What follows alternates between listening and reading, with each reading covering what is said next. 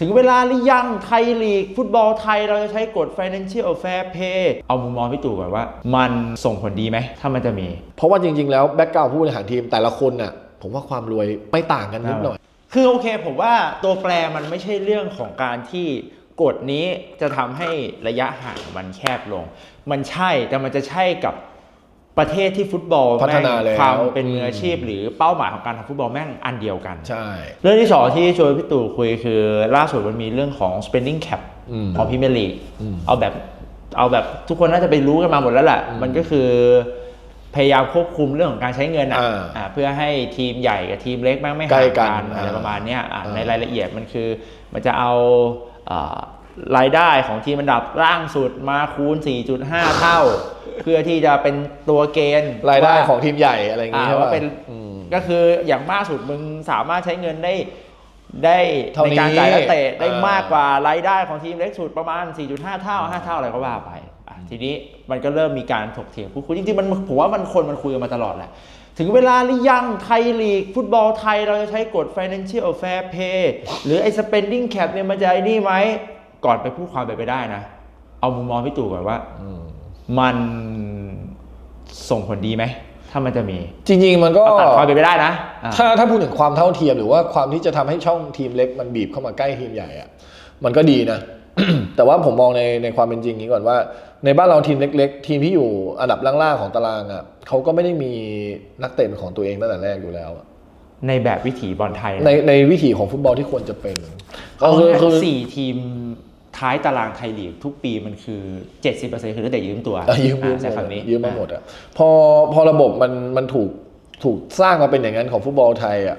มันก็จะไปใช้เรื่องของการเป็น financial fair play เรื่องของการหาเงินมาได้เท่าไหร่ใช้ไปเท่านั้นมันมันเป็นไปไม่ได้ไงแต่เพราะว่าด้วยความที่เราไม่ได้ถูกตั้งต้นมา เพราะว่าทำฟุตบอลเพื่อที่จะหาเงินมาเข้าสโมสร เราทำฟุตบอลบางทีบางทีมโจทย์ก็คือหาเสียงอ่า บางทีมโจทย์ก็คือก็กู CSR อ่ามันมันเพราะฉะนั้นเนี่ยเราก็จะเห็นว่าบางทีมเขาใช้เงินเพื่อที่จะ CSR โดยที่แบบไม่ได้ไม่ได้สนใจว่ามายังไงออกไปเท่าไหร่ ได้อะไรคืนกลับมาบ้างเอาผมยกตัวอย่างท่าเรือแต่ผมไม่ได้โจมตีท่าเรือนะท่าเรือแฟนบอลเต็มเต็มสนามเนี่ยนัดหนึ่งแปดพันคนอืมเอาให้เต็มทุกนัดเลย15เกม ถูกปะ เต็มเต็มทุกนัด15 เกมเนี่ยเฉลี่ยก็จะประมาณเอ่อนัดหนึ่งก็ 8,000คูณ100 แล้วกัน อ่าอ่า8,000คูณ1แล้วก็ก็ประมาณนัดแปด8ล้าน8ล้านแปดล้านเออหรือวะ8ล้านเอาแปวะดพันคูณอ๋อ8แสนแปดแสนเนี่ยนัดหนึ่งประมาณ8แสนอ่าเพราะนั้นนัดหนึ่งประมาณ8แสน10นัดคือ8ล้าน รวมกับอีก4เอ่อรวมกับอีก8 5 40อีก4ล้านก็เป็น12ล้านอ่าในหนึ่ง season 12ล้านถูกปะอันนี้คือเต็มสนามทุกนัดนะอืม กลับกันอะ คุณใช้จ่ายเงินแบบนั้นอืมตัวนักเตะเอาแฮมิลตันโซอาเรสก็ได้ แค่คนเดียวก็ล้านหนึ่งแล้วอืม12เดือนคุณก็12ล้านแล้วอืมเท่ากับว่าไอ้ค่าตั๋วก็มาจ่ายแค่แฮมิลตันได้คนเดียวอืมมันไม่ cover ตั้งแต่แรก ในในเวของมันอยู่แล้วเพราะฉะนั้นเนี่ยสิ่งสำคัญก็คือการที่จะทำให้มันเกิดเรื่องนี้ได้อะคุณต้องทำฟุตบอลเพื่อพัฒนาความเป็นมืออาชีพ เพื่อพัฒนาองค์กรของฟุตบอลจริง ๆ ไม่ใช่ ทำฟุตบอลเพื่อ PR ผมผมสิ่งที่ผมชื่นชมแล้วก็มองเห็นภาพว่าทำไมบุรีรัมย์เขาถึงเขาถึงมีรายได้จากฟุตบอลเยอะเพราะว่าเขาทำได้ดีนะอันนี้อันนี้ต้องบอกก่อนนะใช่เดี๋ยวจะหาว่าเราไปเกลียดบุรีรัมย์หรือเปล่าผมไม่ได้เกลียดเขาเลยนะอืมเวของเขาอะมันชัดเจนอยู่แล้วเขาทำเพื่อหารายได้อืมเพราะฉะนั้นเนี่ยเขาลงทุนเยอะเพื่อรายได้ที่มากขึ้น แชมป์ไทยลีกโอเค 10 ล้านมันไม่ cover หรอกอ่าแต่นัดหนึ่งเขาได้จากคนดูอะเป็น 10 ล้านอะซื้อของซื้อตั๋วถูกป่ะสปอนเซอร์ที่ ตีกลับมาหลังจากการลงทุนมันได้เยอะกว่านั้นนะอ่าเพราะฉะนั้นเนี่ยบุรีรัมย์ก็จะมีรายได้เยอะกว่าทีมอื่น เพราะว่ากูเป็นลูกค้าอ่าไอ้เหี้ยกูจะไปเอาทีมที่มีคนดูพันหนึ่งสองพันทำไม กูมาเอาคนดูหมื่นหนึ่งดิแล้วก็เป็นแชมป์ด้วยป้ายชื่อกูก็ติดอยู่ตรงนั้นอะมันก็ไม่แปลกนี่ถูกป่ะอันนี้แต่อันนี้ก็คือบุรีรัมย์เขาทำแบบฟุตบอลแบบอาชีพจริงๆจไงริงอันนี้อันนี้เราพูดกันในในภาพของการทำงานแบบแบบการหาเงินมาถ้าได้เท่าไหร่แล้วก็ใช้เท่านั้นนะ ถูกป่ะเราจะบอกว่าโอ้ก็บุรีรัมย์มันรวยนี่ เราตัดเรื่อง background ของผู้บริหารทีมออกไปก่อน เพราะว่าจริง ๆ แล้ว background ผู้บริหารทีมแต่ละคนน่ะ ผมว่าความรวยไม่เท่ากันนะไม่ต่างกันนิดหน่อยเอาไม่ต่างกันนะไม่ต่างกันแบบอ่าบางคนเอาอาจเฉจะพาะทีมครึ่งบนนะเออเออบางคนอาจจะมีพันบางคนอาจจะมีเจ็ดร้อยบางคนอาจจะมีห้าร้อยอะไรเงี้ยแต่แต่แต่เราผมมั่นใจว่าแทบจะไม่ต่างกันเท่าไหร่อะอืมแต่เพียงแค่เขามองจุดที่แตกต่างกันคุณมองสี่ทีมหัวตารางก็ได้นะ ตอนนี้นะบุรีรัมทูแบงคอก ท่าเรือท่าเรืออืมท่าเรือแล้วก็บีจีสี่ทีมเนี้ยเขามีเวที่แตกต่างกันขนาดไหน คุณเห็นว่าแบ็กกราวข้างหลังของประธานสโมสรทั้ง 4 ท่านเนี่ยทั้ง 4 ทีมเนี่ยคือโอ้โหเศรษฐีหมื่นล้านกันทุกคนน่ะตัดออกไปก่อน เอาแค่นี้นะ สิ่งที่บุรีรัมย์แตกต่างจากทีมอื่นๆคืออะไร สิ่งที่ทูแบงคอกแตกต่างจากทีมอื่นคืออะไร สิ่งที่บีจีแตกต่างจากทีมอื่นคืออะไรอะเรามาดูกันที่บีจีก่อนบีจีอะเขาใช้เงินเยอะก็จริง แต่หลายๆคนไม่รู้นะ ผมคุยกับน้องทีมงานบีจีบอกว่า พี่เห็นเปล่าว่า พอเอาชนะทิพย์กลับมาสปอนเซอร์ญี่ปุ่นเต็มตัวไปหมดอ่าใช่ เพราะว่าเขาได้จากตรงจุดนี้ไงอืมเพราะฉะนั้นคุณก็มองเขาก็มองได้ว่าการตลาดของเขาก็คือโอเคผลในสนามส่วนหนึ่งแต่การมีซูเปอร์สตาร์ดึงให้สปอนเซอร์อยู่กับเขาก็ส่วนหนึ่งอ่าอะบุรีรัมย์ก็คล้ายๆ กันบุรีรัมย์แต่ของของบุรีรัมย์เขาคือแชมป์ถึงจะทำให้สปอนเซอร์อยู่กับเขาอ่า ใช่ป่ะ ส่วนท่าเรือก็เราก็เห็นอยู่แล้วว่า ส่วนใหญ่ก็เป็น house ads เป็นแบรนด์ที่ผูกติดกับเอ่อผู้บริหารคนเก่า แล้วก็มาเป็นสปอนเซอร์กัน คือเป็น connection กัน ส่วนทั้งฝั่งของทรูแบงค็อกอ่า house ad นะล้วนๆ CP เออ CP ล้วนๆเพราะฉะนั้นเนี่ยเราเอาแค่เนี้ยเราก็เห็นแล้วว่าความแตกต่างของการมองเรื่องของเงินในการเอามาบริหารทีมอะมันแตกต่างกันยังไง แล้วพอพอยิ่งเอาถ้าสมมติเอากฎมาคุม สุดท้ายแล้วอะ ทีมอย่างบุรีรัมย์ก็จะไม่ได้เดือดร้อน ไม่ได้เดือดร้อนทุกผมก็กำลังมองเรื่องนี้ว่าในระหว่างที่ฟังไปเรื่อยๆ คือโอเค ผมว่าตัวแปรมันไม่ใช่เรื่องของการที่กฎนี้จะทำให้ระยะห่างมันแคบลง มันใช่แต่มันจะใช่กับประเทศที่ฟุตบอลพัฒนาแล้วแม่งความเป็นมืออาชีพ หรือเป้าหมายของการทำฟุตบอลแม่งอันเดียวกัน ใช่ ประเด็นคือผมว่าถ้ามี spending cap หรืออะไรมาอยู่ในไทยนะ ทีมใหญ่ไม่ได้เดือดร้อนเลยไม่ได้เดือดร้อนเลยจ้างคนทำ คอยจัดการเรื่องเอกสารเอกสารอะอืมทุกอย่างแทบจะไม่เปลี่ยนวิถีเลยด้วยไม่เปลี่ยนซ้ำเพราะสุดท้ายใช่แล้วผมว่าเขาเขาเขาไม่ได้ต้องมานั่งผลักอะไรตัวเองขึ้นนึกออกปะกลับกลายเป็นทีมล่างอะผมผมจะบอกงี้เสริมอีกเรื่องหนึ่งก็คือ อย่างนี้เต้ในฟุตบอลต่างประเทศทีมเล็กอืมๆเขาจะไปเอาตัวแบบยังไม่ค่อยเก่งมา ไม่ว่าจะเป็นเด็กหรือจากต่างชาติ ผมยกตัวอย่างไบรตันก่อนไบรตันเนี่ย ไปเอาเจ้าเปโดมาอืม ไม่มีใครรู้จักเลย ไปเอาอเล็กซิสแมคอลิสเตอร์มา ไปเอามิโตมะ ไปเอาตัวโน้นตัวนี้มาที่แบบคนรู้จักน้อยอะ่ะแล้วเขาเอามาปั้น ซึ่งเป็นของเขาเองไงเขาไม่ต้องไปยืมมานึกออกว่าอืมพอจบฤดูกาลปุ๊บคนจะเอาของเขาก็ต้องเสียตังค์ให้เขาอืมเข้าใจใช่ป่ะก็นี่เขาก็ขายเพื่อที่จะเอาเงินมาพยุงสโมสรกลับกันของบ้านเราเอาอย่างยกตัวอย่างอย่างเช่นเอ่อกลางกลางๆตารางตอนนี้นครปฐมก็ได้อืมนครปฐมอะ ตัวส่วนใหญ่ยืมหมด ตัวส่วนหนึ่งเป็นของตัวเองก็จริง มีสัญญาปีเดียว พอจบฤดูกาลปุ๊บอ้าวผมไม่ได้อะไรเลย ผมคุณสมมุติว่าอย่างอาทิตย์เบิร์กที่มีข่าวล่ำล่ำล่ำล่ำเนี่ย แทนที่จะได้ค่าตัวจากการซื้อขายอาทิตย์เบิร์กสักห้าล้านสิบล้าน เพราะว่าเขาเป็นคนไทยดีกรีทีมชาติ กลายเป็นไม่ได้เลยเลยไม่ได้เลยเพราะว่าหมดสัญญาแล้วอืมเพราะฉะนั้นเนี่ยก็เท่ากับว่า ทีมเล็กๆก็ต้องมองในจุดนี้แล้ว ถ้าคุณปั้นเอง ถ้าคุณมี academy เอง หรือว่าถ้าคุณมี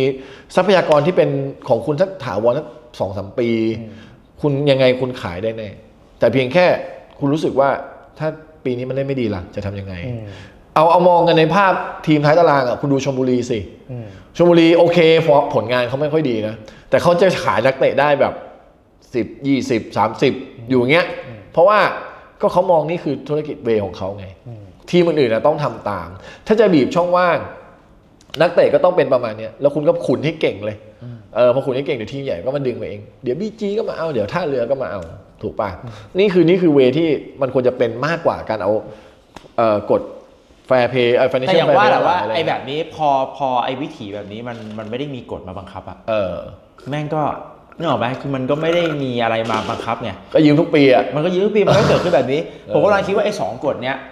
ที่วันนี้มันยังเกิดขึ้นในไทยไม่ได้อะมันไม่ได้ไปกดดันที่ในทีมใหญ่หรอกเออถูกป่ะต่อให้มี financial fair play เนี่ย ทีมใหญ่อะผมว่าแม่งเอาตัวรอดได้ได้อยู่แล้วสุดท้ายแล้วรายได้เขาสามารถมี potential ในการหาได้มากกว่า financial fair play มันคือหาได้เท่าไหร่ใช้เท่านั้น ถูกถูกป่ะเพราะฉะไม่นั้นมีเนี่ยปัญหาหรอกไอ้เหี้ยบุรีรัมย์หาได้พันล้าน กูใช้ 500 ล้าน กู 500 ล้านของ ทีนี้ยิ่งไปสบายเลยนะเออแต่ไอ้ financial fair ไอ้ ครึ่งทีมล่างเนี่ยเออแดงทุกปีเนี่ยเออผมว่าอันเนี้ยแม่งยิ่งไปฆ่าทีมเล็กให้หายจากสารระบบเขาอีกเออถูกไหมเออกับการไอ้ spending cap สุดท้าย spending cap เนี่ยผมว่าโอเคทีมเล็กอะอาจจะไม่ต้องมีปัญหาอะไรอืมแต่กลับกลายเป็นว่าคุณภาพของฟุตบอลในสนามจะแย่ ผมว่าผมว่าควรจะเป็นอย่างนี้มากกว่าเต้ไม่ต้องไปดูแบบพวกพรีเมียร์ลีกหรือว่าลีกท็อป 5 ของของโลกอะอืมไปดูพวกลีกแบบ เซอร์เบียโรมาเนียเอ่อตุรกีอะไรเงี้ยอืมว่าเขามีวิธีการจัดการช่องว่างพวกนี้ยังไง เพราะว่าอ่าตุรกีมันก็จะมีกาลาตาซารายเฟเนร์บาห์เช่เบซิคตัสผูกขาดหัวแม่งมีทุกลีกว่ะพี่ มีทุกลีกมีทุกลีกใช่ปะเออทุกลีกตุรกีมีใครมึงดูพวกแทร็บซอนสปอร์ที่อะไรแบบเออล่างๆมันหรือลีกพวกนั้นมันมันก็ใช่ไม่มันก็ไม่แปลกที่มันใช่จะมีการผูกขาดคืออยากให้ไปดูพวกอย่างมกกว่าเนเธอร์แลนด์อย่างเงี้ยเออ มึงเชียร์พวกทเวนเต้อะไรอย่างงี้เวลาก็มันก็ก็ไม่ได้เออเออแบบอีเกิลโกอเฮดอีเกิลมันก็คงไม่ได้มีใครแบบใช่ซึ่งโอเคในการผูกขาดใช่แต่ ไอ้กฎเหล่านี้มันอาจจะพยายามออกมาเพื่อลดช่องว่าง เพราะว่าผมว่ามันเริ่มเห็นโมเมนตัมว่าบางทีฟุตบอลในแต่ละปีที่มันเดินเดินผ่านไปเรื่อยๆความห่างของทีมใหญ่ทีมเล็กมันยิ่งมากขึ้นเรื่อยๆผมว่าปีเนี้ยจริง ๆ กลายเป็นทีมกลางตารางกับทีมท้ายตารางไม่ห่างอ่าแต่ไอหัวบนไปอะแยกไปเลยเลยเออแม่งไปเลยมันผมว่ามันเป็นทุกลีกนะอ่า ถ้ามองกันในภาพแบบภาพรวมอะแต่ถ้าถามผมว่าแล้วผมจะแก้ปัญหายังไงอะถ้าผมแก้ได้อะผมคงไม่มานั่งตรงเนี้ยเออแล้วถ้าผมต้องเป็นคนที่จะต้องแบบไปนั่งคอยแก้รู้ทุกอย่างอะไรเงี้ยอ่า ผมคงไม่มานั่งตรงนี้แล้วอะผมสำหรับพี่เรื่องอะไรที่มันจะทำให้ฟุตบอลไทยมันสนุกขึ้นไหมมีไหม จริงๆ ทุกวันนี้มันมันสนุกในแบบของมันนะ แต่อ่าผมผมแค่ต้องการมาตรฐานของการตัดสินหรือว่ามาตรฐานของนักกีฬามากกว่า บางทีนักกีฬาบางคนอะความฟิตไม่เท่ากันเราจะเห็นแล้วว่าบางทีมแม่งวิ่งได้เจ็ดสิบอ่าใช่บางทีแม่งวิ่งได้เก้าสิบผมอยากให้มันแบบเก้าสิบหมดเลย เราจะเราจะได้เห็นว่าถ้าสมมติคุณเป็นทีมเล็ก ทีมเล็ก เจอทีมใหญ่ทีมใหญ่วิ่งได้เก้าสิบทีมเล็กคุณต้องวิ่งได้ร้อยห้าสิบนาทีเพื่อที่ยังในในในท้ายเกมคุณยังขยโยกเขาอยู่ เราจะเห็นเบิร์นลีย์เราจะเห็นบอร์นมัธเราจะเห็น ทีมพวกเนี้ยไล่ขยโยกแมนยูเชลซีช่วงท้ายๆเกมไล่ขยโยกเลี้ยวไอ้สองภูทีมนั้นมันอ่อนหรือเปล่าหรือมันยังผมก็ไม่เคยเห็นมันไปขยโยกอะเลี้ยวภูด้วยเลี้ยวภูด้วยเลี้ยวภูด้วยเอามารวมด้วยเอามารวมด้วยอ่าคือเราจะเห็นทีมเล็กๆพวกเนี้ยมีแรงไงอ่าท้ายเกมอะแมันกูบดดิกูเอา ตามลูกเดียวกูเอากูเอากูเอาแต่ในไทยอะมันไม่มีไม่มีแรงแล้วอะมันเกิน 60นาทีเออมันหมันไม่มีแรงแล้วอยากเห็นตรงนี้มากกว่าแล้วก็อยากเห็นมาตรฐานมาตรฐานผู้ตัดสินที่ที่มันจะเหมือนกันถ้าผิดผิดเหมือนกัน ผมผมยังยินดีที่ถ้ามันจะผิดแล้วมันผิดเหมือนกัน ดีเพราะว่าเราจะได้รู้ว่า อ๋อ มาตรฐานไทยลีกเราเป็นอย่างนี้ แต่ถ้ามันคนหนึงผิดคนหนึงถูกคนหนึงให้คนหนึงไม่ให้ อย่างนี้มันสเปะสปะไปหน่อยนึกออกอัปะนนี้ผมเห็นด้วย มันควรจะต้องมีมาตรฐานเส้นตรงเดียวกันอ่าเออผมว่าผมว่าสิ่งที่ผมอยากเห็นในฟุตบอลแม่งไอ้ความห่างผมว่ามัน มันมันมันเป็นปกติของทั่วโลกแหละทั่วโลกทั่วโลกเออแต่โอ้ไปดูมาเลดิโอ้โหอีกหนักกว่าที่อีกไอ้เชี่ยลำบากหาตู้ใส่ถ้วยไม่พออีกโอ้โหสนามสร้างสนามมาใส่ถ้วยอะเออเหมือนไอ้เนี่ย Attack on Titan ที่เอาเขาเอาตัวไททันไปเป็นกำแพงอะไอ้ยาโฮนี่ก็เอาถ้วยมาเป็นกำแพงอะเออผมว่าไม่ทำอย่างนั้นได้แล้วซึ่งเอาจริงๆผมว่ามัน มันมันมันอะอย่างอย่างเรื่องพวกแบบอะอย่างอย่างผมอยากเห็นสนามในในมาตรฐานเดียวกันอ่าอะไรพวกนั้นอะไรพวกนั้นอ่าผู้ตัดสินที่มันเป่าแล้วมันอยู่ในกฎเกณฑ์เดียวกันเกณฑ์เดียวกันเออผมไฟสว่างเท่ากันอะไรเงี้ย บางสนามมืดบางสนามสว่างอะไรเงี้ยเออมันมันมันรีเทลพวกนี้น่าจะใส่ใจด้วยไงบางทีเราหลงหลงแล้วบางทีบางทีมเขาก็หลงหลงลืมลืมพวกนี้ไปเอาแค่ผ่านมาตรฐานเกณฑ์ก็พอแต่ว่า พอผ่านไปแล้วปุ๊บมาดูกันอีกทีตอนผ่านกับตอน ที่เล่นไปแล้วมันก็กลายเป็นคนละเรื่องกัน อย่างอย่างขอนแก่นยูเงี้ยเขาทำสนาม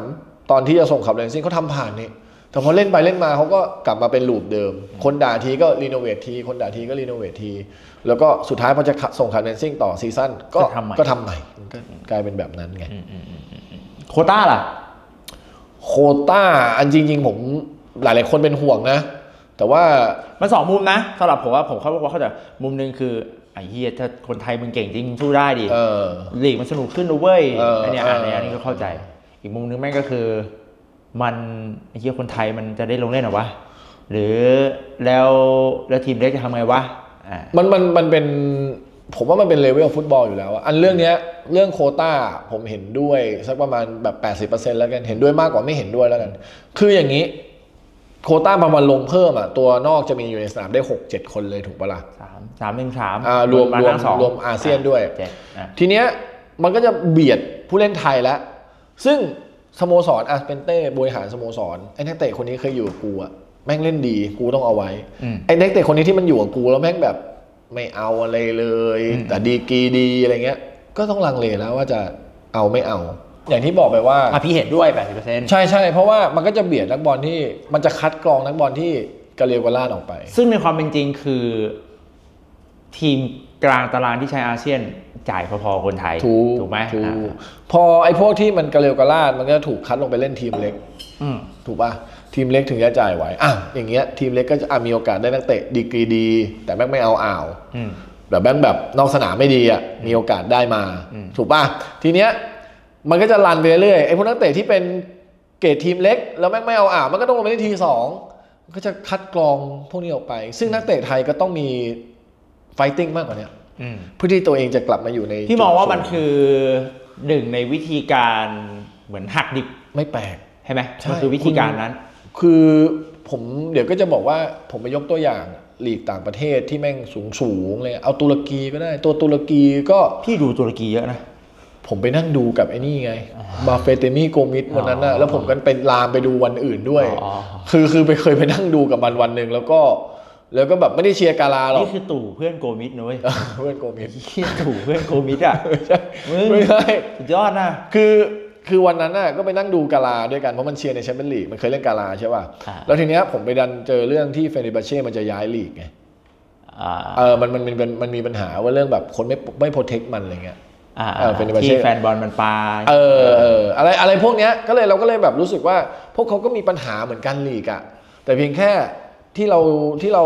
มองก็คือมันจะมันไม่ใช่เป็นลีกใหญ่มากไงแล้วมันก็จะมีทีมที่แบบมีหัวหัวอยู่ไม่กี่ทีมเหมือนกันอะไรเงี้ยผมว่ามันก็คล้ายๆกันกับเราแหละแต่เพียงแค่นักเตะเขาเล่นเพื่อเพื่อที่จะไปต่อที่อื่นไง ของเราก็ต้องคิดอย่างนั้นบ้างอะอ่านึกออกป่ะอ่าสมมติว่ากูหลุดจากทีมใหญ่อะสมมติกูหลุดจาก ทีม A แล้วกูต้องลงเป็นทีมทีม Y กูก็ต้องทีมตัวเองครั้งเพื่อให้กลับไปอยู่ในทีม A ให้ได้สิ มันมันควรจะเป็นต้องเป็นอย่างนั้น ไม่ใช่แบบไอ้เฮียเล่นนั้นกูเมาไอ้เฮียเอ้ยแม่งเมื่อคืนกูไปแดกเหล้ามามีมีเหรอพี่กูซ้อม4ี่โมงเว้ยไอ้เฮียแดกเหล้าก่อนแล้วกัน มันก็จะต้องลดมันพวกไม่นี้ไปมีโอ้โหไอ้เฮียอย่างกูพูดเลยสัตว์แม่งเฮียโดนตำรวจจับ เมาแล้วขับเยอะแยะหลายคนไม่เลมียมีแต่นักเตะตัวดูอยู่ในเตะเมาแล้วโดนตำรวจจับไม่มีที่อันอื่นั้นนอันนั้นหรปอกกติ อะแต่ทีนี้ไม่รู้จักหลบซอยขับฝ่าด่านทำไมแล้วโอ้ประเด็นคืออย่างนี้พี่ตู่นั่นคือนั่นคือมุมที่หลาย ๆ คนคาดการณ์ว่าจะเป็นแบบนั้นเออ ทีนี้มันมีมีมุมหนึ่งที่ผมแอบเห็นว่าถ้าสมมติว่าแม่งไม่เป็นอย่างนั้น เออ ผมกำลังเห็นว่าถ้าแม่งไม่เป็นในการที่แม่งเป็นเชื้อเพลิงให้นักเตะ เออ มันกลายเป็นนักเตะไม่ได้ลง เออแล้วก็หมดไฟอะจริงๆมันก็มีมันก็มีตัวอย่างบางทีมที่ สุดท้ายก็ต้องเลือกตัวที่แม่งอาเซียนก่อน เอออะบางทีมจ่ายอาเซียนสองแสนสามแสนก็พอกันนักเตะไทยอ่าเออแต่บางทีมก็จ่ายอาเซียนเป็นล้านมันก็มี มีมีอ่าถ้าจ่ายเป็นล้านกับจ่ายคนไทยระดับแสนพี่ว่าในมุมของคนจ่ายเงินช้อยที่มันจะต้องถูกเลือกลงก่อน มึงเลือกอาเซียนก่อน ถูกป่ะแล้วมึงเกรดอะอันนี้เกรอันดนี้อันนี้คือบางช้อยที่มันจะเกรดขึ้นเจฟเฟอร์สันคาร์บินาเนี่ยอะถูกไหม ไอ้เชี่ยกูแม่งเล่นดีกว่าตัวไทยะอยู่แล้วกูมันก็จะต้เอาองใครเอาไปสิเล่นอะพี่เออถูกูกป่ะก็ต้องเอาสิ มันก็เหมือนกับว่า อิกซานหรือว่าอีฟานเงี้ยก็มันก็ดีกว่าตัวมันไทก็ยดีกว่านะอยู่แล้วมอะซึ่งแน่นอนว่า พื้นที่ตรงนั้นมันก็ยากกับการที่จะต่อสู้ เพราะมันมันคือเกรดที่มันจ่ายคนหลักล้านอะถูกเหมือนพี่จ่ายเด็กหมื่นหนึ่งกับเด็กจ่ายเด็กพันห้าพี่ชอบแบบไหนวะก็ต้องหมื่นหนึ่งถูกปะล่ะถูกต้องอะอันนี้มันก็เป็นอันนี้เอาออกที่ะเอาลงนี่แหละเพราะว่าเรื่องแบบนี้มันก็จะเกิดขึ้น แล้วกูก็จะโดนแซวว่าพี่ตู่เติมน้ำหน่อยน้ำหมดดูดอยู่นั่น ปัญหาระยะสั้นที่มันจะเกิดก่อน คือความต่อเนื่องของนักเตะไทย อืมที่ที่จะไปเล่นทีมชาติอะมันจะไม่อ่าอันนั้นอันนั้นต้องมีหลักๆ ต้องมีอะแน่ๆอันนั้นคือระยะสั้นเพราะว่าที่จะเกิดอันเร็เพวราะว่าอันคุเร็ณวก็จะได้คุณก็จะได้ตัว คุณต้องที่แม่งไม่ค่อยได้เล่นนะฟุตบอลมันมี 23 คนอะอ่าคุณจะมีอะผมมั่นใจว่า 11 คนเนี่ยคุณมีแน่ที่ได้เล่นตลอด แต่อีก 11 คนอะ คุณจะเจอแบบ